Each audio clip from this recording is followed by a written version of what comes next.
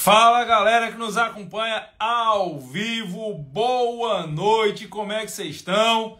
Sejam bem-vindos a mais uma live aqui, dia seguinte à prova da primeira fase da OAB. Chegou a hora de nós batermos um papo com quem vai começar a estudar para a prova da segunda fase. Quem já se matriculou aqui no nosso curso segunda fase penal aqui no JUS 21. Pessoal também que está na repescagem. Queria aí ver vocês que estão chegando agora, que já estão matriculados no nosso curso, que estão lá no grupo do WhatsApp, que a gente passou hoje o dia avisando que ia ter a live. Quem já é aluno do JUS 21, que está aqui, vai chegando, vai dizendo eu, eu, eu. Quero ver a galera aí que é nosso aluno já, ou que está na repescagem, ou que está na turma regular, que recebeu o aviso lá pelos grupos do WhatsApp. E você que ainda não é nosso aluno, fica ligado. O tema da live de hoje é, ou são os três erros, ó, Yasmin, eu acho o nome dela, Yasmin Underline Ruiz, é, já é nossa aluna, o Antônio Nogueira já é nosso aluno, Gabriel Coutinho também, Barcer, a Gislane já é nossa aluna, a Ivínia Falcão, galera toda chegando aí, Jutarley também já é nosso aluno, galera que é já nosso aluno aí, um abraço enorme para vocês. Bom, vamos lá. Quais são os três erros que você que vai fazer prova de segunda fase de direito penal não pode cometer. Existem vários, eu diria que aí a gente tem um rol de uns 8, 10 erros que são mais crassos, que são mais comuns. Mas eu separei os três que ao longo de todos esses anos de experiência que eu tenho em preparação para exame de ordem, preparação de alunos, para a prova da segunda fase da OAB, eu reputo como os mais comuns, eu reputo como os mais corriqueiros e eu reputo como aqueles que são mais bobos até. São os mais comuns e são os mais bestas e eu vou alertá-los para, independente de você ser nosso aluno ou não, você não cometa, beleza? Então eu vou tirar os comentários, depois eu trago os comentários de volta. A cada um dos erros aí, vocês vão anotando as dúvidas, eu boto os comentários de volta, vocês perguntam, eu respondo, tiro os comentários outro segundo e a gente vai fazer isso três vezes, beleza? Então vou tirar os comentários aqui, desativar comentários, vamos lá qual é o primeiro grande erro que eu percebo dos alunos e que esse erro pode custar a sua aprovação na segunda fase? É você não aprender antecipadamente a linha do tempo. Deixa eu dar uma dica para você que nunca fez segunda fase, tá? Que passou agora na OAB, vai fazer segunda fase pela primeira vez. O maior peso que você vai sentir, eu falo peso psicológico, a carga emocional o maior peso que você vai sentir é o medo de, na hora da prova, não ser capaz de identificar a peça. Eu vejo muita gente nessas duas primeiras semanas de preparação mandando mensagem no plantão de dúvidas aqui no JUS 21. Ah, prof, eu não vou conseguir identificar a peça. PLGG, eu não tenho experiência nenhuma em prática, eu não vou saber qual é a peça. E eu sempre respondo para eles: calma, calma, calma não criemos pânico, parafraseando o grande Chapolin Colorado. Em direito penal, na sua segunda fase de direito penal, se você diz para mim que não sabe identificar qual a peça a FGV quer que você faça, é porque você não aprendeu a linha do tempo. Em direito penal, nós temos uma peculiaridade, uma particularidade cada momento da persecução criminal, principalmente a partir do início da ação penal, só tem uma peça prático-profissional possível. Existem outras disciplinas que, para a mesma situação, você tem como manejar duas, três peças diferentes. No processo penal não é assim. O processo penal ele é até mais simples quando comparado a outros ramos do direito processual brasileiro, porque se você é capaz de colocar a situação no momento certo da linha do tempo, você não tem como errar a peça. Se você tem essa preocupação, se você acha que não vai conseguir identificar a peça, se você tem dificuldade de saber qual a peça FGV quer que você faça, o que eu lhe recomendo é, antes de você se preocupar em estudar as peças, se preocupe em aprender a linha do tempo. Eu desenvolvi essa história de linha do tempo da persecução penal há mais ou menos uns 15 anos. certo? Hoje todo mundo faz, alguns me dão crédito, outros não dão, enfim, o importante é que todo mundo está fazendo hoje e está ajudando os alunos aí Brasil afora. Mas por que é que eu desenvolvi isso há uns 15 anos? Porque eu percebi que os alunos eles ficavam com essa ansiedade de achar que ia errar a peça. Eu vi aluno dizendo: Ah, professor, eu tenho dúvida quando é que eu faço memoriais e quando é que eu faço é, é, é, resposta à acusação. Eu digo: Não pode, cara. Você não pode ter dúvida entre resposta, acusação e memoriais, porque eles estão em pontos opostos da persecução. Algumas vezes o aluno dizia, Giovanni, eu não sei se aqui é uma apelação ou um agravo em execução. Eu digo, não, não, dá certo você ter essa dúvida, não pode você ter essa dúvida. E aí, quando eu ia fazer a diagnose do aluno, não é que o aluno não soubesse a peça, é que o aluno não sabia a linha do tempo. Então, a primeira coisa, o primeiro erro elementar que você não pode cometer se você quer garantir a sua aprovação. Antes de você estudar qualquer peça, você tem que aprender a linha do tempo. Quem já é nosso aluno, quem já estava matriculado nas turmas de repescagem, já viu isso há mais tempo, quem se matriculou ontem e hoje, que já teve acesso à sua área do aluno, deve ter percebido. Antes de todos os demais módulos do seu curso, o primeiro módulo se chama Linha do Tempo da Persecução Criminal. Eu acho que eu passo lá umas três horas, de três a quatro horas, só mostrando passo a passo cada etapa possível do processo penal se desenrolar e cada peça possível em cada uma daquelas etapas. Eu chamo linha do tempo porque efetivamente, ao final da aula, você é capaz de traçar uma linha, ou um segmento de reta, para usar uma expressão mais técnica, um segmento de reta e em cada ponto, em cada momento do desenrolar da bronca do réu, você consegue identificar a peça possível adequada àquele momento. Por exemplo, dá um exemplo aqui bem, bem primário. Se você está no momento de início da ação penal, se você leu a história que a FGV lhe contou, a FGV pode lhe contar a história mais mirabolante da face da Terra. Mas se ao terminar a leitura da história, você tem certeza absoluta e inequívoca que a ação penal está sendo iniciada, e como é que você tem essa certeza? Por causa daquelas frasezinhas de ouro que a FGV usa. Exemplo, é, oferecida a denúncia, o juiz da primeira vara criminal da comarca tal recebeu a peça acusatória e mandou citar o réu.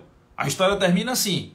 Se a história que está sendo contada termina dizendo que a ação penal está sendo iniciada, que a ação penal está começando naquele momento, ela pode dizer isso de várias formas diferentes.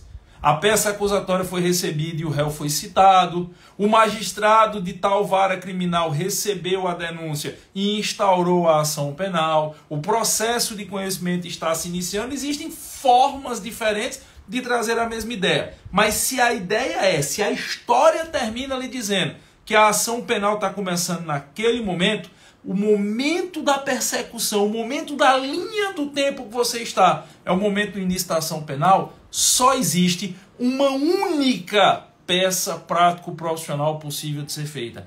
Ela se chama resposta à acusação. Qualquer outra peça que você queira fazer nesse momento está errada. Ah, Giovanni, eu quero. Não, você não quer, porque só cabe uma. A dificuldade não é você aprender a peça, a dificuldade é você aprender essa linha do tempo. É por isso que a primeira aula de tudo da nossa segunda fase é essa linha do tempo. Eu vou ponto por ponto, etapa por etapa, lá do flagrante até a execução da pena, mostrando cada momento possível da persecução e deixando claro para vocês que cada momento desse só tem uma peça. Então, se a ação penal está começando, só tem uma coisa que você pode fazer: resposta à acusação. Ah, eu quero fazer um habeas corpus para trancar. Tá errado. Ah, mas na vida real acontece. Aqui não é vida real, aqui é exame de ordem. Aqui é o fantástico mundo de Bob, que é o direito penal e processual penal puro e perfeito que existe na cabeça da Fundação Getúlio Vargas. E ou você se adequa a isso ou você se adequa. Então, você tem certeza que dentro dessa linha do tempo você está no início do processo, no início da ação penal, a ação penal acabou de ser instaurada com a citação do réu, só dá para fazer resposta à acusação. Resposta à acusação em regra geral, com devido fundamento no artigo 396 e 396A do Código de Processo Penal. Se for no júri, com fundamento no artigo 406 do Código de Processo Penal. Mas esses detalhes do fundamento, ao longo do curso, obviamente, a gente vai ensinando. Quer ver um outro exemplo? Se a história que lhe está sendo contada, vou dar um salto, tá? Se a história que lhe está sendo contada fala que o réu está, ou que o condenado, ou que o agente está submetido à tutela da VEP, VEP, ou seja, da vara de execuções penais, é porque significa que o momento da persecução que ele se encontra por óbvio, é o momento da execução penal. Se o cara está submetido à execução penal, se o custodiado está submetido à autoridade competente do juízo das execuções penais e você precisa discutir qualquer decisão desse juízo, a única peça prático profissional possível de ser feita se chama agravo em execução. Agravo em execução com fundamento no artigo 197 da Lei 7210/84 da Lei das Execuções Penais. Se o momento desta linha do tempo que você se encontra, se o momento dessa perseguição que você encontra-se já é a parte final, já é quando o cara está submetido à efetiva execução de pena, qualquer decisão prolatada pelo juiz das execuções penais nesse momento será questionada ou contraposta através de uma única peça possível. Essa peça se chama agravo em execução e essa peça só tem um fundamento possível, a Lei de Execuções Penais, o artigo 197 da LEP. Eu vejo algumas pessoas dizendo assim: ah, eu tenho dúvida se eu faço um agravo ou um recurso em sentido estrito. Eu paro e pergunto: qual é o momento da linha do tempo que o réu está, que o condenado está, que o indivíduo está? Ele está cumprindo pena. Eu digo show. Se ele está cumprindo pena, ele está submetido à tutela da, do juízo das execuções penais, da VEP, da Vara das Execuções Penais. Você precisa questionar qualquer coisa decidida pelo juízo das execuções penais? Preciso. Então só tem uma peça possível. Se chama agravo em execução e morreu Maria Preá. Qualquer outra coisa que você fizer tá errado. Inclusive, pessoal, quando vocês que já são nossos alunos tiverem assistindo a aula de recurso em sentido estrito, eu acho que essa aula vai estar liberada para vocês, apelação e reze, sexta-feira agora. Quando vocês estiverem assistindo a aula de recurso em sentido estrito, vocês vão ver que na aula eu pego o artigo 581 do Código de Processo Penal e eu saio riscando no artigo 581 todas as hipóteses que não são mais válidas. Tem algumas hipóteses no artigo 581 que dizem respeito à execução de pena e que eu mando você riscar, porque elas não valem. Porque qualquer discussão na fase de execução de pena só pode ser feita pela via do agravo em execução. E aí eu vou abrir um parêntese, tá? A prova da primeira fase focou muito, tanto em penal e quanto em processo penal, em execução de pena. E isso nos dá um norte de que na segunda fase nós vamos ter que reforçar as aulas que digam respeito à dosimetria de pena, progressão de regime, livramento condicional, a ANPP, acordo de não persecução penal, suspensão condicional do processo, suspensão condicional da pena, transação penal esses institutos ou que impedem a efetiva condenação do réu ou o efetivo cumprimento da pena, ou que, estando ele em fase de execução de pena, podem acelerar a sua saída do cárcere. Eu não tenho dúvida que um dos pontos de diferenciação para esta segunda fase será o aluno ter o conhecimento, os detalhes sobre a execução de pena e os temas correlatos. Vocês têm aulas sobre tudo isso, mas eu já estou me organizando aqui com a minha coordenação. Inclusive, quem já é nosso aluno estava pedindo isso nos grupos de WhatsApp. Eu já antecipo para vocês, eu vou fazer aulas ao vivo com vocês, já começa essa semana. Vou fazer aulas ao vivo para eu reforçar as dicas de dosimetria de pena. Vocês vão terminar esse curso de segunda fase sabendo todas as pegadinhas de dosimetria de pena. Eu vou fazer aulas de revisão e de reforço sobre progressão de regime, quando é que progride, quando é que não progride, livramento condicional, reabilitação penal. Eu tô, eu já tô na minha cabeça que vai ter uma questão na sua segunda fase sobre faltas cometidas no curso da execução penal, se tem falta que tira a remissão de pena, que não tira, os dias remidos, remissão pelo estudo, remissão pelo trabalho. Tudo isso eu já estou me organizando, embora já tenha no seu curso de segunda fase, eu estou me organizando para reforçar com aulas ao vivo. Já pedi à minha equipe para preparar material adicional de treino sobre essa parte de execução de pena, porque eu tenho certeza que nós teremos um ênfase grande disso Primeira fase me permite essa leitura, na sua segunda fase. Então, pessoal, o primeiro erro que você não pode cometer é não aprender a aula da linha do tempo. Você que é nosso aluno, se você já recebeu o seu cronograma individualizado de estudos, porque para quem não sabe, todo mundo que é aluno da segunda fase minha aqui do JUS 21, a gente fornece um cronograma individualizado e atualizado quinzenalmente. Por que, é que eu mando fazer um cronograma individualizado? Porque a realidade de João é diferente da de José.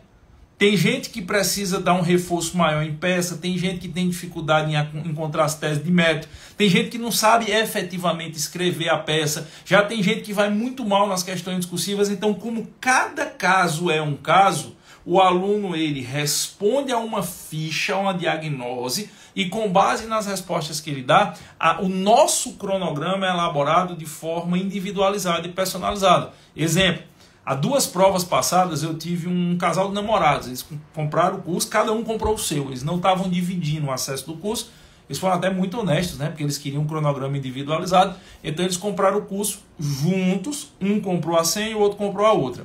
E aí no segundo dia eu recebo uma mensagem do rapaz dizendo, professor, estou decepcionado com o seu curso. Eu digo, o que foi? Eu recebi meu cronograma, minha namorada é aluna do curso, recebeu o cronograma e o cronograma dela está diferente do meu, o meu está errado. Eu digo, não. O cronograma é individualizado. Se o seu cronograma tem pontos de estudo iniciais diferentes do dela, é porque você precisa. Aí eu disse, me dá o nome de vocês dois. Aí eu peguei a ficha. Quando eu peguei a ficha, ela estava fazendo prova da OAB segunda fase pela primeira vez. Ele estava fazendo pela segunda. E aí ele tinha indicado que ele tinha tido a reprovação na prova passada porque foi muito mal nas questões discursivas. Ela estava fazendo pela primeira vez. O cronograma dela no início tinha uma ênfase em ela aprender as peças. Já ele já tinha um bom fundamento de peça. O problema dele era a parte de crimes em espécie. Então ele começou suprindo aquela deficiência que ele trazia consigo, estudando os principais crimes em espécie, para depois, tendo suprido a deficiência que o reprovou na prova passada, ele poder voltar a treinar o que ele já sabia, que eram as peças. Não fazia sentido ele já começar treinando o que ele era bom e manter uma deficiência que tinha levado ele à reprovação. Quando ele entendeu isso, deu um plot twist. Disse, Porra, então é para isso que serve o cronograma individualizado? Sim, para que cada um tenha as suas dificuldades sanadas e as suas qualidades estimuladas. Mas independentemente do cronograma, todos começam com a linha do tempo. Independentemente do que vai acontecer a partir do segundo ou do seu terceiro dia de estudo. O primeiro dia de estudo é a linha do tempo. Porque negligenciar a linha do tempo é pedir para reprovar. Essa é a primeira coisa. Faltam duas. Mas deixa eu abrir os comentários aqui para ver se alguém tem alguma dúvida sobre esse primeiro ponto. E eu até queria ver se alguém aí já recebeu o cronograma e já assistiu a aula sobre a linha do tempo. Uma dica, tá, pessoal? Se por acaso, enquanto as perguntas chegam aí, se por acaso você ainda não é nosso aluno aqui no JUS 21, você quer começar a sua segunda fase, você quer estudar aqui com a gente no JUS 21, é, desde ontem Maurício, meu sócio, Maurício do blog Exame de Ordem, ele está fazendo um preço diferenciado para quem quiser começar a estudar aqui. Eu vou até colocar em tela aqui para vocês. Deixa eu ver se eu consigo. Como é que eu faço para colocar em tela? É aqui. Eu vou colocar em tela aqui para vocês. Dá um print aí, por favor, nesse número de WhatsApp que está aparecendo em tela, tá? Dá um print aí. O DDD 61, porque é o WhatsApp de Maurício, é o WhatsApp do blog Exame de Ordem, então é de Brasília. 619 9314 4383. Não adianta você ligar. Isso é um número de WhatsApp. Manda um número, manda um WhatsApp aí e diz: "Olha, eu estou assistindo a live do professor Giovanni, eu estou interessado no curso de segunda fase, é só online. Nosso curso de segunda fase é exclusivamente online. Você pode assistir em qualquer lugar do Brasil. Eu estou interessado no curso segunda fase e eu quero comprar com um desconto maior do que está no site. O desconto que o blog está oferecendo. E nesse número de WhatsApp aí, você vai conseguir comprar com 35% de desconto. Eu estou brigando com o Maurício, passei só até hoje, eu já queria ter acabado. Eu disse: não, deixa eu terminar a live. E quem pagar no Pix tem mais 5% de desconto. Você comprando no Pix, você consegue comprar 40% de desconto. Deixa eu ver aqui enquanto o pessoal anota o número de WhatsApp. Deixa eu ver aqui nos comentários. Quem já assistiu a aula da linha do tempo? Quem é nosso aluno que está acompanhando ao vivo aqui? Quem já assistiu a aula da linha do tempo, fala aí para mim nos comentários. Eu quero ver o primeiro que vai comentar. Deixa eu ver aqui quem foi que já assistiu. Bora aí, tem um delayzinho. Quem é nosso aluno aí que já viu a aula da linha do tempo diz eu, eu, eu. Ó, o Luiz Gonzaga reprovou no 33 e foi muito mal nas questões. Então, quando já começar o seu cronograma, você tem que começar a treinar a parte das questões. O Antônio Guerra Duvido alguém depois de estudar a linha do tempo não saber identificar a peça. Valeu, Antônio. Robson, se você ainda não começou, comece. A primeira coisa é a linha do tempo. Jutarley já. O Alberdan 07 está dizendo que ele também. A Gislaine está dizendo que já assistiu a linha do tempo. A Cami Campos. Eu assisti, muito boa, valeu, Cami. O Antônio Nogueira assistiu a linha do tempo. O Leonardo Souza já concluiu. A Elides Prudente diz que já assistiu a linha do tempo, nunca mais errou uma peça. O Ginaldo Soares, a Cláudia 1370 assistiu. Valeu, bebê. Vai comprar o curso depois da live. Pois é, ó, você vê aí a galera que já assistiu a aula, a aula da linha do tempo consegue entender a importância do que eu estou falando. Tem aí o feedback ao vivo. Assiste a aula da linha do tempo que você não erra mais a peça. Isso eu lhe garanto assista a aula da linha do tempo que você não erra mais a peça. E mais, se atenha ao seu cronograma. O cronograma vai ser feito para você, para você já começar suprindo as suas dificuldades. Não adianta você começar a estudar peça se você tem dificuldade, por exemplo, de identificar a competência. Cada caso é um caso. Cada aluno aqui é tratado de forma diferenciada. Educação não é uma coisa, não é uma calça que calça jeans não dá certo em todo mundo, quanto mais a preparação. Ok, tranquilo, novo de loja. Então tá aí, eu já vou para o segundo ponto. Termine de dar o print aí. Esse número de WhatsApp que está aparecendo em tela para vocês aí é o que lhe garante você comprar ainda hoje de noite o curso com 35% de desconto. Sim, Paty, se você está com 40, venha-se embora, vamos estudar para a segunda fase. Eu vou tirar os comentários, daqui a pouco eu coloco de novo os comentários. Deixa eu tirar isso aqui, deixa eu ver como é que faz. Para voltar é aqui. Pronto. Aí como é que eu tiro isso aqui, mas Lascou agora. Parar de com. Pronto, voltou. Segunda coisa, segundo erro que você não pode cometer. E esse segundo erro que você não pode cometer é quando você estiver fazendo a peça, certo? Preste atenção. É, na segunda fase, em 95, 96% das vezes, a peça tem preliminares. E dependendo de qual seja a peça, essa, essas preliminares elas podem valer entre um ponto e um ponto e meio. Faça uma conta comigo aqui. Você tem a sua peça que vale até 5. Tá? Vamos pegar uma peça onde é comum ter muitas preliminares. Memoriais. Memoriais é aquela peça que você faz ao final da instrução probatória. Quando você pega lá e o juiz está dizendo, a história está dizendo assim, que o juiz, ao final da instrução, ele abriu prazo para as partes se manifestarem, o que a FGV quer que você faça são os memoriais. Memoriais nada mais é, ou nada mais são, do que as alegações finais feitas por escrito. O processo de conhecimento chegou ao final nessa linha do tempo. Como é que eu sei que o processo de conhecimento chegou ao final? A FGV me diz que as testemunhas foram ouvidas, que teve oitiva, que houve as acariações, as provas foram apresentadas, enfim. A história toda da ação é contada e ela termina dizendo que, findo tudo isso, o juiz, antes de decidir, abriu prazo para as partes se manifestarem, ou abriu prazo sucessivo de cinco dias para as partes se manifestarem, você já sabe que a peça que tem que fazer é memoriais, com fundamento no artigo 403, 403, parágrafo 3 do Código de Processo Penal. E memoriais é uma peça que normalmente tem muitas preliminares. Então faz uma conta aqui comigo. A peça vale 5. Vamos supor que a peça seja memoriais. O endereçamento e a apresentação da peça já vale só pelo fato de você endereçar e apresentar, indicar que são memoriais com fundamento no 403, parágrafo 3 já vale meio ponto. O endereçamento vale 0,2, a indicação da peça 0,3, já dá meio ponto. Vamos colocar aí mais um ponto a um ponto e meio só de preliminares. São dois. Você acertou a tese principal, já são três. Você não teve nenhum trabalho efetivo ainda de redigir a peça toda, você já começou a prova com três pontos. Com metade do que você precisa. Perceba a importância de você conhecer as preliminares e de principalmente você identificar as preliminares. Peças como memoriais, resposta à acusação, apelação, apelação comum do 593, inciso 1, são peças onde normalmente você vai encontrar preliminares e normalmente essas preliminares têm um peso grande na sua pontuação.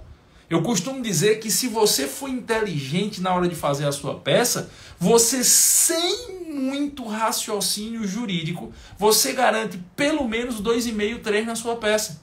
Galera, não sei se tem alguém da repescagem, o pessoal que se matriculou ontem e hoje, não deu tempo ainda.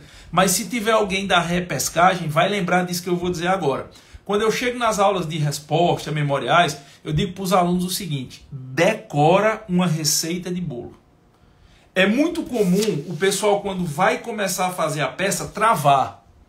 Eu até brinco de que aluno é feito carro velho. Carro vai sempre ter que dar uns empurrão para ele poder ir, depois ele vai. Às vezes o aluno trava, ele não sabe como começar a fazer a peça. Ele sabe a peça, mas não sabe começar a escrever. Aí eu peço para o cabo decorar uma receita de bolo, porque com essa receita de bolo ele já garante meio ponto.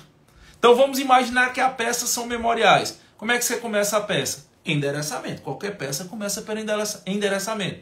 Excelentíssimo senhor, doutor, juiz de direito, de tal vara criminal da comarca tal. Exemplo, excelentíssimo senhor, doutor, juiz de direito da primeira vara criminal da comarca de Recife, capital do estado de Pernambuco. Processo número. Pula ali duas, três linhas, aí começa. João da Silva, vírgula, já devidamente qualificada aos autos do processo conforme folhas, por seu advogado e bastante procurador que esta subscreve conforme procuração anexa, vem muito respeitosamente à presença de Vossa Excelência, com devido fundamento no artigo 403, parágrafo 3 do Código de Processo Penal, apresentar os seus, aí centralizado, em caixa alta, memoriais. Na linha seguinte, pelos motivos de fato e direito a seguir aduzidos. Isso é uma receita de bolo. O aluno decora isso. Quem já está na parte de peças comigo aqui no curso, pessoal da repescagem, já sabe isso decorado. Você endereçou e escreveu essa receita de bolo, você já garantiu meio ponto. Meio ponto. Vale para a resposta? Resposta à acusação é a mesma coisa. É, excelentíssimo senhor doutor juiz de direito da primeira vara criminal da comarca de Fortaleza, capital do estado do Ceará. Processo número. Pula ali duas, três linhas. João da Silva, vírgula, já devidamente qualificado aos autos do processo conforme folhas, por seu advogado e bastante procurador devidamente constituído que esta subscreve, vem respeitosamente à presença de Vossa Excelência, com fundamento nos artigos 396 e 396A do Código de Processo Penal, apresentar a sua, centralizada em caixa alta, resposta à acusação pelos motivos de fato e direito a seguir aduzidos. Mesma coisa. Então você está fazendo memoriais, você endereçou e botou essa receita de bolo, meio ponto. Você vai para as preliminares, você já garante no mínimo mais um ponto. Cara, tu tira três na peça sem fazer esforço de raciocínio jurídico, três nas questões, tu passou. É óbvio, a gente vai treinar você aqui para tirar oito, nove, o máximo que eu puder. Mas eu tenho que lhe dar o mínimo, eu tenho que lhe dar que mesmo que na hora da prova dê aquela travada na parte mais complexa do direito, você consiga com essas regras atingir no mínimo seis. E uma das coisas fundamentais para sua aprovação, na grandíssima maioria das peças, é você verificar a existência de preliminares. E aí, sabe o que é que vai ter aluno que vai dizer? Então lascou foi tudo. Aí morreu Maria Preá. É aí que os cancão pia e os caboré canta dente, Alvano. Eu não sei identificar para eliminar. Eu não vou achar nunca, eu olho, eu me lembro na minha época de faculdade, nas aulas de prática, eu ficava olhando e dizia, eu sei, procurar para eliminar é que nem procurar uma agulha no palheiro. Na vida real pode ser, na OAB não. Basta você decorar o checklist das preliminares. Eu desafio, eu vou te botar nos comentários aqui. E eu quero ver se tem algum aluno meu da repescagem que já viu essa aula para comentar. Eu vou dar minha cara a tapa agora.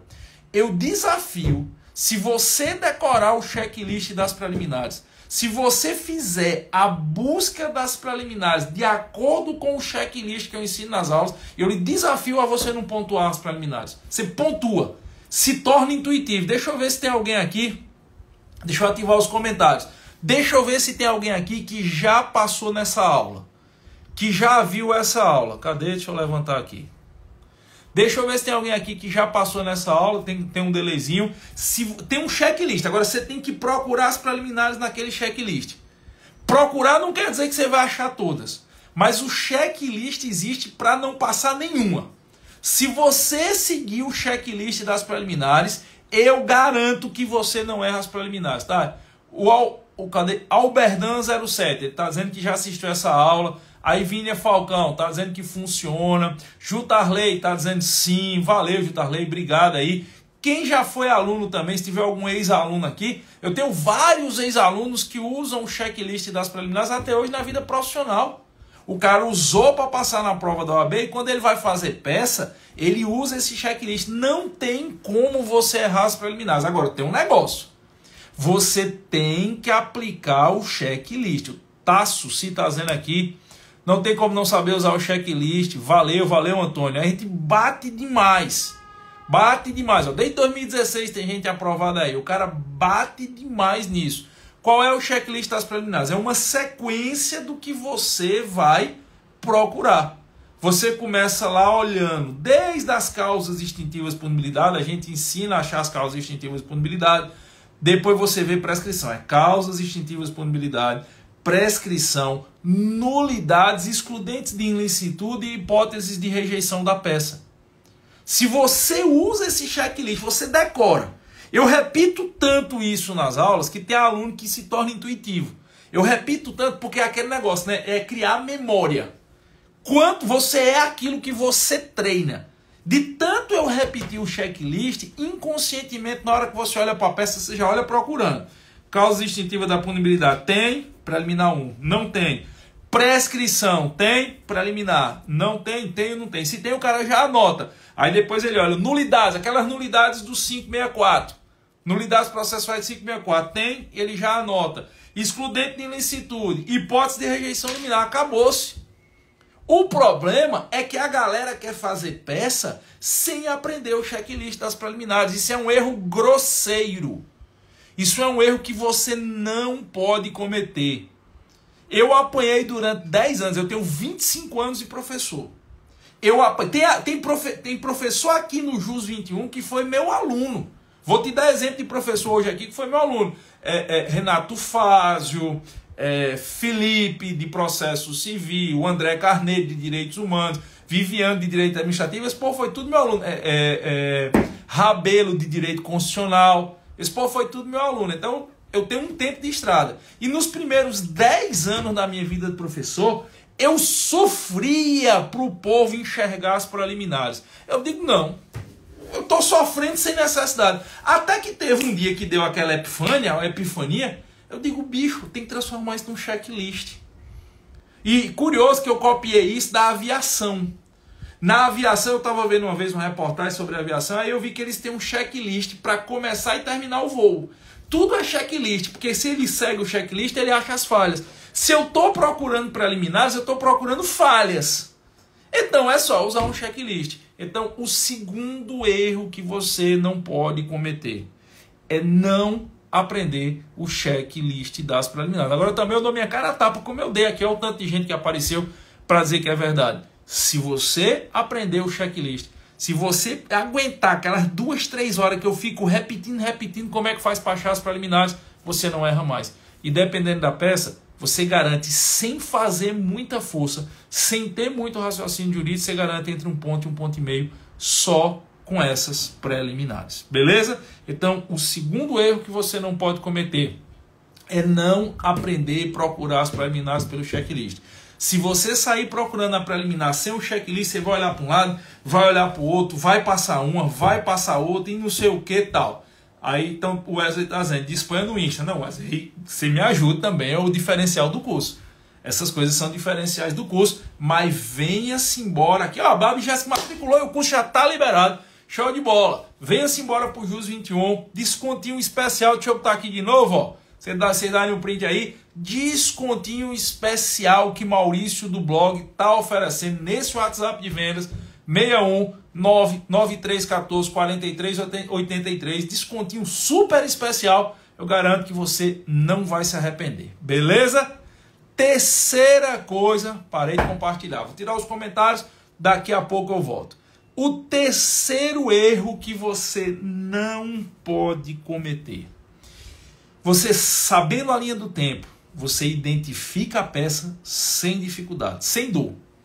Eu sempre digo que a minha função, aqui é a função dos colegas professores aqui da segunda fase penal, é aliviar o máximo possível as suas dores. A FGV vai fazer de tudo para doer a sua aprovação. A gente vai fazer de tudo para aliviar as suas dores. Então, se você aprende a linha do tempo, você não tem dor para identificar a peça. Se você segue o checklist das preliminares, você não tem dor para identificar as preliminares. Você sabe a peça, sabe as preliminares, já está com quase metade da pontuação que você precisa tirar na peça para garantir a aprovação. E aí onde é que vem a terceira coisa? A tese de mérito. Não cometa o erro de não treinar a tese de mérito. Pessoal, aqui no nosso curso a gente tem quase toda a aula de peça o momento tese que salta aos olhos. Caras, como é, professor? O senhor tem uma aula de tese? Não, senhor. Que negócio de aula de tese, macho? Escuta o que eu estou lhe falando. Quase toda aula de peça. Quase toda aula de peça. Eu, às vezes eu passo três aulas numa peça, outra peça eu passo duas aulas, depende da, da necessidade. Mas quase todas as aulas eu paro um momento da aula e faço um momento tese que salta aos olhos. Sabe por quê? Porque na FGV, se você pegar a lógica sobre a qual ela faz as peças, a tese principal, aquela tese que vai lhe dar a maior pontuação de tudo, ela fica piscando para você. Ela salta aos olhos. Não é brincadeira não, por isso que eu chamo momento tese que salta aos olhos. Sabe como? Como é que você aprende a olhar e já saber qual é a peça? É você treinando memória muscular. O cérebro é um músculo. É você treinar a memória muscular. De novo eu digo, nós somos aquilo que nós treinamos constantemente. Eu faço de um jeito ao longo das aulas, aonde toda a aula eu mostro as teses. Eu digo, ó, galera, a história é essa. Aí eu mostro a primeira vez a tese que salta aos olhos. Aí depois eu mudo a história.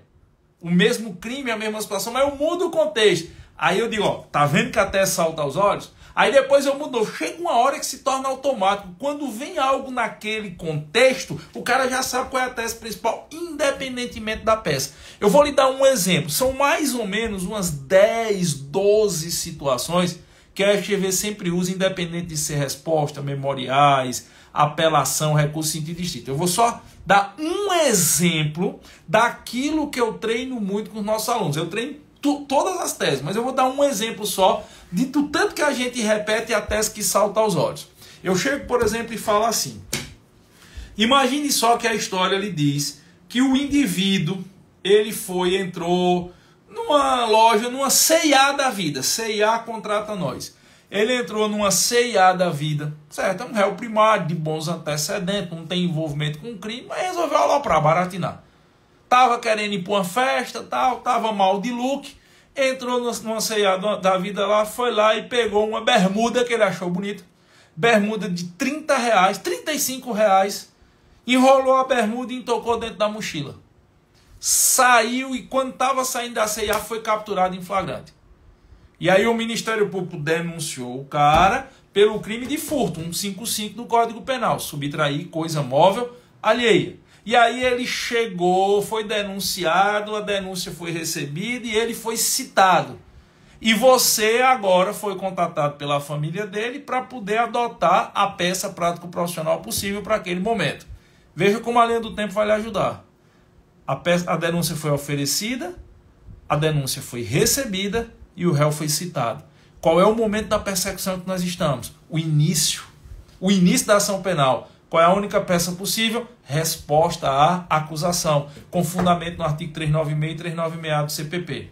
Na hora que eu dou um exemplo como esse, aí eu viro para os meninos três, quatro, cinco vezes e digo: olha, é um cabra que não está aloprando, não vive de fazer o mal, não tem violência nem grave ameaça e passear 30 reais é micharia. Qual é a tese? Insignificância ou criminalidade de bagatela. A tese que você vai arguir é insignificância ou criminalidade de bagatela, que exclui o crime. Porque a insignificância suscita, gera a, prefixo negação, a atipicidade material da conduta. Aí eu conto 10 histórias dez histórias aonde os elementos da insignificância continuam presentes no caso concreto. E chega uma hora que o cabo já está tão bitolado que na hora que ele vê uma coisa parecida com aquela na prova, já salta aos olhos a tese. E ele já sabe que é insignificância. Independente de qual seja o caso, a redação da tese de insignificância é a mesma.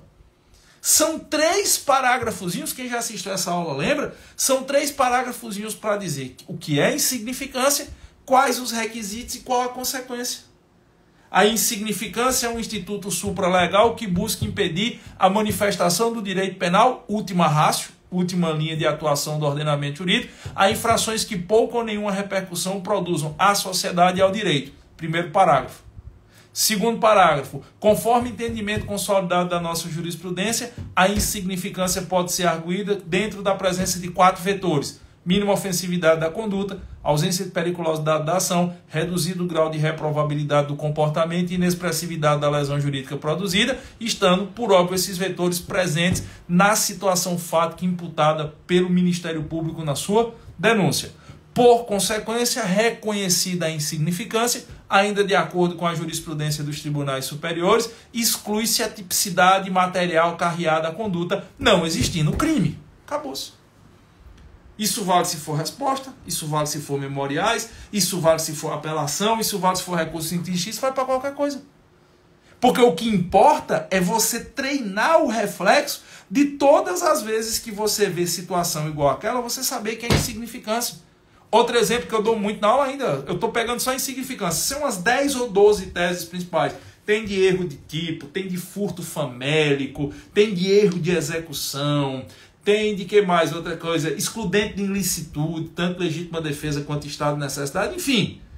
Tem excludente de culpabilidade, tem ali aquelas 10, 12 teses que você vai treinar com 5, 6 aulas, você não aguenta mais. Você bate o olho e a tese já salta aos olhos. Quer ver um outro exemplo? Eu dou muito esse exemplo. Eu digo, olha, o cara entrou no Carrefour.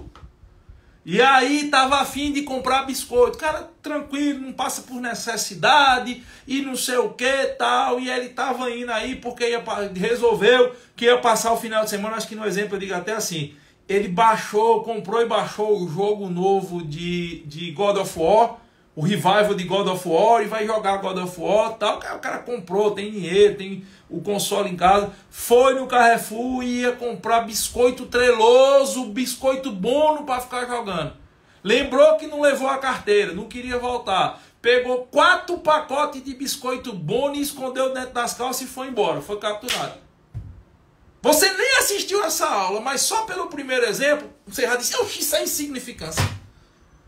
Tem violência, tem grave ameaça, quatro pacotes de bolacha, vale nada de biscoito, né? Vale nada pro Carrefour, vai prender um homem por causa de um negócio desse, percebeu? Agora imagina a gente treinar todas as testes, você não é. Agora, tem gente que tem preguiça. Aí, meu patrão, eu não tenho remédio para preguiça. Quer dizer, eu até tenho, a gente fica ali com o pessoal da mentoria, bora, cuida. Um dos motivos da existência dos grupos de WhatsApp aqui é para gente ficar, bora, criatura, cuida, se alui, tal. Mas quando eu digo que tem gente que tem preguiça, porque é o que eu vejo muito acontecer aí fora. O cara aprende a fazer a estrutura da peça, ah, eu já sei. Aí vai para a próxima, bicho. Não esquenta a cabeça com a estrutura, não. A estrutura vai pontuar menos. Esquenta a cabeça em treinar a tese que salta aos olhos.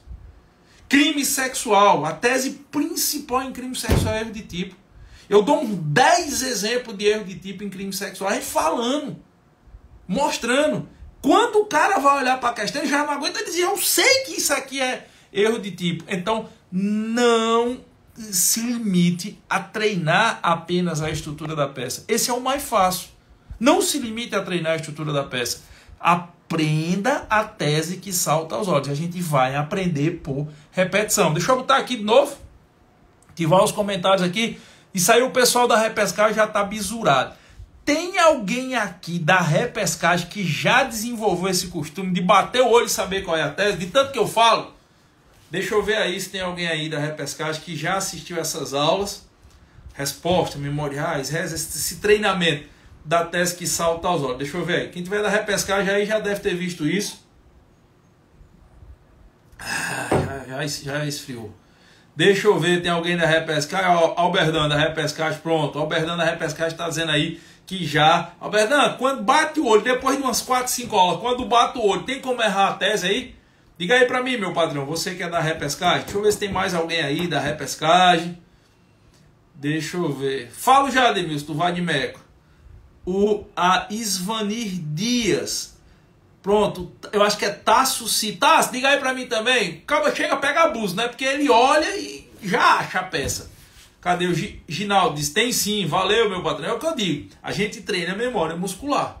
Certo? A gente treina a memória muscular. Eu treino para você olhar ao Albert tá? não tem como errar. Porque de tanta gente mostrar as hipóteses, a F é tanto. Que o pessoal diz, porra, você dá os exemplos. Não é que dá os exemplos que cai na prova, é que dá tanto exemplo para você não essa questão da tese, que não tem como a gente não, não acertar o que vai cair na prova, do tanto de exemplo que a gente dá ao longo das nossas aulas. Agora, de, ó, a Cláudia, no 35, bati o olho no anunciário e me veio a voz de Giovanni falando da peça. Amém, aleluia, né? Porque se não fosse também, tava todo mundo botando para lascar. Valeu, Cláudia. Rosalina também é nossa aluna. Valeu, Rosalina. Então, pessoal, é isso. Esse é o objetivo. Agora, deixa eu abrir. O Gilberto está dizendo aqui, dá para repetir o zap para adquirir o curso. O curso está no site, Gilberto. Mas nesse WhatsApp aqui você tem um desconto especial, tá? Igual eu estou assistindo a live com o professor Giovanni, ele disse que se eu mandar sua mensagem aqui, eu vou receber um link com 35% de desconto. E se pagar no Pix, meu patrão, tem mais 5% automaticamente os APs. Agora deixa eu abrir meu coração aqui para vocês. Vou abrir meu coração duas coisas aqui para vocês. Primeira coisa é o seguinte: infelizmente, tem muito aluno que chega, muito não, alguns alunos que chegam aqui no JUS 21 e eles chegam procurando pílulas mágicas. Eles chegam procurando fórmulas mágicas. Certo? Eles chegam assim. Eu, te, eu tive um caso uma vez de um aluno que ele chegou assim e disse: Olha, professor, o senhor me desculpe, mas eu vi na internet que tem uma pessoa que faz um, um, um, negócio que a gente estuda meia hora, dia sim, dia não, só os pontos que sempre caem e a gente resolve. E aqui tem que assistir aula todo dia. Eu digo, vá para lá. Vá para lá, pode ir. Sabe por quê? Porque a, o meu método, certo? O meu método é o método é, bunda na cadeira, cara na aula. Eu sou meio cartesiano em relação a isso. Bunda na cadeira, cara na aula. Tem, se você não está disposto a pagar o preço da sua aprovação na segunda fase, você pode comprar o melhor curso da face da terra. Você não vai conseguir. Eu lhe dou todo o meu know-how, toda a estrutura da minha empresa, toda a estrutura do JUS 21 para lhe ajudar. Mas você tem que assistir a porra das aulas. Você tem que seguir o cronograma. Vocês sabem por que, que a gente investe tanto nesse cronograma individualizado? Porque nesses 25 anos, uma das coisas que eu mais vi acontecer foi o cara comprar o curso, ver daquele tanto de aula e dizer sim, e agora? Eu começo a assistir por onde? Qual a sequência? O que é melhor para mim? Então a gente vem e faz um cronograma de acordo com a sua realidade. Eu podia muito bem fazer um cronograma geral, como tá o povo aí no meio do mundo fazendo. Botava um cronograma que serve para todo mundo. Mas a educação, ela se faz, principalmente na educação específica dessa de segunda fase, ela se faz com respeito à individualidade. Eu não posso fazer isso com os meus alunos. Eu não só sou professor do JUS 21, eu sou dono, eu e Maurício. Não é só minha cara de professor, é minha cara também de dono da empresa. Então a gente investe pesado para que você tenha um cronograma para você seguir o cronograma. Aí tem gente que chega e diz assim: ah, é porque eu tenho que assistir uma aula de duas horas hoje, treinar uma peça e ler a doutrina. Isso tu quer o quê? E tu quer. Não, não, é porque eu, eu não queria. Eu queria passar três dias sem estudar e recuperar a nota. Isso não existe. E outra, viu, pessoal? Outra. As, ó, pergunta boa. Quantas horas diárias é preciso para concluir? Depende de cada caso. Essa pergunta do G2 underline justo. Depende de cada caso. O cronograma é individualizado. A gente tem uma média de 3 horas por dia, 4 horas. Eu não acredito em negócio de você estudar 12, 15 horas por dia. Eu não acredito. Quando eu vejo a gente dizer, não, eu estudo 12 horas, 6 dias por semana com qualidade. Eu digo que você faz isso e mente. Você muito provavelmente tem algum Instagram para vender post-it, vender sala de, de estudo. Ninguém consegue isso, não, criatura. Nós somos pessoas normais, carne, sangue, osso. A gente trabalha, a gente tem conta para pagar, tem menino chorando, pai e mãe perturbando, namorado ou namorada pegando no pé, e não sei quem que levou gaia. Tem dia que a gente tá ruim, tem dia que a gente tá mais quebrado que arroz de terceira, tem dia que o chefe tá pegando no pé, tem dia que não dá para sair do trabalho na hora nós temos vidas normais. Não adianta você querer se espelhar nesses blogueiros fitness de estudo. Não é assim que funciona. Numa vida real, uma preparação para uma segunda fase, você tendo ali três, três horas e meia por dia, tá de bom tamanho. Agora, claro, às vezes o aluno tem uma dificuldade maior em, sei lá, em prescrição. Aí no começo ele tem que ali assistir umas quatro horas de aula todo dia para depois normalizar. Às vezes o cara tem uma dificuldade muito grande da época da faculdade porque não estudou legislação especial. Aí a gente tem que dar uma ênfase na legislação especial. Mas cada caso é um caso. Inclusive eu tenho uma preocupação muito grande de não saturar vocês no início. Sabe por quê? Imagina só que você nunca foi para uma academia na sua vida. Você está zerado. Zerado. Aí você vai para uma academia, se matricula, chama um personal, aí o personal diz: Não, aqui é o seguinte: primeiro dia de aula, você vai fazer esteira, a esteira velocidade 10, 10 tiros de um minuto e meio por um minuto andando devagar ali, velocidade 7. Depois nós vamos fazer corda naval. Depois você vai fazer 2 minutos de prancha. 2 minutos de prancha é uma eternidade. Depois você vai fazer leg press com 150 quilos. Depois você vai fazer supino com 200 quilos. No dia seguinte você nem anda. Nem anda. Imagine estudar. Que o nosso cérebro é preguiçoso por natureza e vai dar um jeito a gente querer procrastinar. Então eu preciso ir criando em vocês o hábito. Eu prefiro muito mais um aluno que estude menos horas por dia, mas estude todo dia, do que aquele cara que começa o cronograma com 10 horas e daqui a 3 dias não aguenta mais. Perceberam? Então, siga o cronograma de estudo de vocês. Você comprou o curso, quem comprou o curso ontem ou hoje já deve ter recebido a mensagem para responder a ficha do cronograma. Se tiver alguém aí puder confirmar, por favor, eu agradeço. Normalmente é em 24 horas, quem está comprando hoje, amanhã já recebe a ficha tal. Se alguém já recebeu a ficha aí, diga, recebeu a ficha hoje? Você recebe a ficha, você preenche para o cronograma ser feito. Que é para você ir podendo pegar o ritmo. E o que eu ia falar para você é o seguinte. Tem muita gente que diz, eu sou péssimo em peça. Eu sou um zero à esquerda em peça. Pense no homem fraco sou eu em peça, Giovanni. Eu digo, você é o cara ideal para passar de primeira com a nota alta.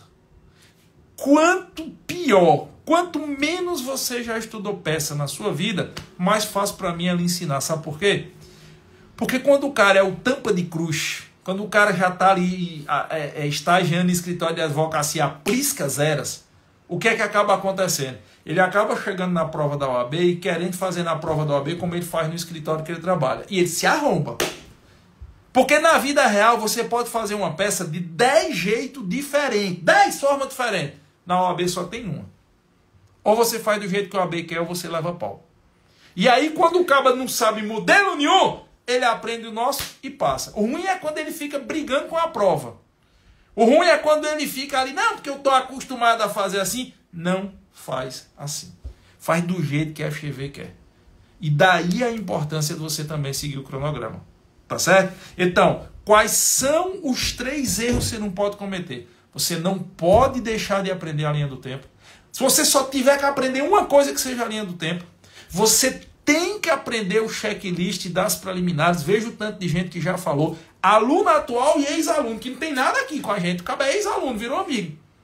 Gosta do nosso conteúdo dizendo a importância de aprender o checklist das preliminares e treinar a tese que salta aos olhos. Isso vai fazer diferença para você. Galera, sobre o Vadimeco, na minha bio tem um link para você comprar o Vadimeco com desconto já. Mas quando você se matricular aqui no JUS 21, se você se matricular na minha segunda fase no JUS 21, na sua área do aluno tem um link para você comprar o VAD mais barato ainda e com frete grátis por transportadora. A gente tá, a gente não, né? A, a, editora manda por transportadora, porque correio tanto faz entregar como não entregar, principalmente em cantos mais longe. Transportadora é certeza de chegar. Então, no momento que você se matricular aqui no JUS 21, liberar o seu curso, teve até uma menina que disse que comprou agora durante a live já liberou o curso para ela. Quem paga no Pix ou no cartão já libera na hora. No boleto demora um pouquinho. Quando você liberar o curso na sua área do aluno, vai estar lá um link.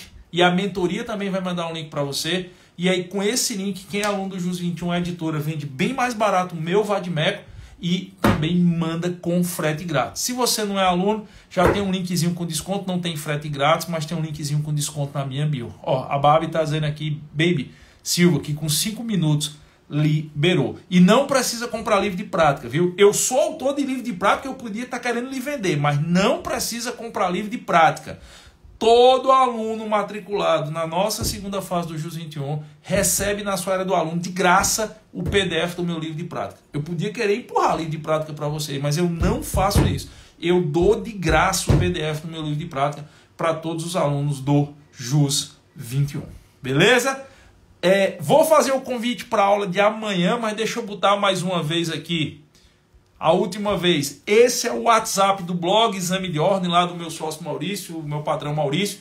Ele está dando um desconto especial a mais do que está no site do Jus 21. Manda, ó, a Tássia Amorim está dizendo que acabou de comprar. Valeu demais, Tássia. Obrigado pela confiança. Manda o WhatsApp aí, 619. É só WhatsApp. Não ligue. Se você ligar, você vai perder tempo. É só WhatsApp. 61 99314 4383. Diga, olha, tô assistindo uma live do professor Giovanni Moraes. Faça que nem a, a Baby fez aí. Tô assistindo a aula do professor Giovanni Moraes. Ele disse que aqui eu vou ter 35% de desconto. Se eu pagar no Pix, tem mais 5% que é automático, a plataforma já gera lá. E você tem a liberação na hora de pagar no Pix tal. Eu quero meu link de desconto. O pessoal vai mandar para você o link de desconto aí no WhatsApp. Amanhã eu vou convidar vocês amanhã. Ah, e outra. Quem está ali com 38, 39, você está esperando as anulações, eu acho que vão ter anulações. Eu acredito que vão ter anulações. Eu achei até bom não ter saído de retificação hoje, porque passou o prazo aí é só anular e todo mundo ganha. Se você está em dúvida, se você comprar o curso do JUS 21, o meu curso de segunda fase, você tem um seguro JUS 21. Se por acaso as anulações não vierem, ou não vierem as que você precisa, 100 100% do, do que você pagou, 100% do que você pagou para a segunda fase é revertido em crédito para o seu custo de primeira fase. Então você não perde nada e já começa a estudar, porque quanto antes você começar a estudar, melhor. Beleza? Então, manda aí o WhatsApp para você ter um desconto a mais do que está no site. Galera, eu vou fazer um convite aqui para vocês, deixa aí mais 3 segundos para vocês darem o print 61 99314 4383 deixa eu fazer aqui um convite para vocês. Amanhã eu vou dar uma aula ao vivo, certo? Ao vivo para o pessoal que está matriculado na segunda fase. E aí eu vou transmitir essa aula com link aberto. Para ficar mais fácil, como é um, uma aula onde eu tenho que mostrar slides e tal, vai ser pelo YouTube, pelo canal do YouTube do Jus 21. Então amanhã eu vou divulgar o link no meu Instagram, fica ligado no meu Instagram, eu vou botar o link na bio, eu vou divulgar no feed, eu vou divulgar, divulgar no Stories, é, minha equipe de mentoria vai mandar nos grupos de WhatsApp de quem já é aluno. E amanhã eu vou falar um pouco com vocês sobre, vou começar a falar sobre dosimetria de pena. Eu quero fazer algumas aulas ao vivo com os alunos sobre dosimetria de pena. Isso tudo está no curso, já está gravado, mas eu quero reforçar. Dosimetria de pena, ANPP, Acordo de Não Persecução Penal, transação penal, suspensão condicional da pena, suspensão condicional do processo, progressão de regime. A gente vai falar muito isso em aulas ao vivo. A maioria dessas aulas ao vivo, elas serão exclusivas para os alunos matriculados. Mas a de amanhã eu vou transmitir com link aberto. Então, quem é aluno já tem um encontro marcado comigo amanhã a gente vai informar, eu acredito que vai ser a partir das 19 horas, tá? Horário de Brasília, vulgarmente conhecido como 7 horas da noite. E quem não é aluno, eu vou transmitir só de amanhã, eu vou transmitir com sinal aberto. E aí, de quarta-feira em diante, é só sinal fechado. Mas são aulas a mais, porque todas as nossas aulas estão gravadas, quase todas já, estão gravadas e disponibilizadas na área do aluno. Então, fica ligado nas minhas redes sociais, acredito que seja amanhã, a partir das 19 horas, horário de Brasília. Beleza, crianças? Novo de loja, deixa eu fazer um pedido aí a vocês. Essa live vai ficar salva aqui no meu Instagram. O pessoal vai botar também no meu canal do YouTube. Se você gostou da live, é, compartilha com os amigos. Tem algum amigo aí que é, vai fazer prova de segunda fase? Se você puder ajudar, manda para ele, para ele vir conhecer um pouquinho aqui o que a gente faz. E se você já está matriculado aqui no JUS 21, muito obrigado pela confiança no nosso trabalho. Se você vai se matricular aqui no JUS 21 hoje ou amanhã, tenha certeza que nós vamos fazer tudo que estiver ao nosso alcance para que você possa conseguir sua aprovação. A hora de passar é agora. Lembre-se que no exame 38 o exame de ordem vai mudar completamente. Se você passou para a segunda fase, não perca tempo. Comece a estudar hoje. Aproveite. 35% de desconto no WhatsApp do blog. A oportunidade. Bicho, se você pagar no Pix, fica quase 600 reais só. Libera na hora. Se for 600 e poucos reais com 35% de desconto, você divide em seis vezes. Invista. 100% online o curso. Eu não tenho curso presencial de segunda fase, é só aqui online no Jus 21. Venha-se embora. Que tenha certeza que o que depender de mim, da minha equipe, nós vamos fazer tudo o que for possível para você garantir a sua aprovação. Agora não tem pílula mágica, né? Ninguém vive no mundo da Matrix. Você tem que fazer a sua parte. Se você estiver disposto a dar tudo que você tem na alma para estudar mesmo. Nem depois você não estude mais, mas estudar para tirar a porra dessa carteira. Tenha certeza que a gente vai fazer o máximo que nós pudermos aqui para você passar. Beleza? Galera, valeu demais por hoje. Um cheiro para quem for de cheiro e um abraço para quem for de abraço. E quem já é aluno que acompanhou ao vivo, valeu. E lembre-se, amanhã nós temos um encontro marcado às 19 horas lá no YouTube do Jus 21, mas vocês ficam sabendo no grupo do WhatsApp. Valeu, crianças!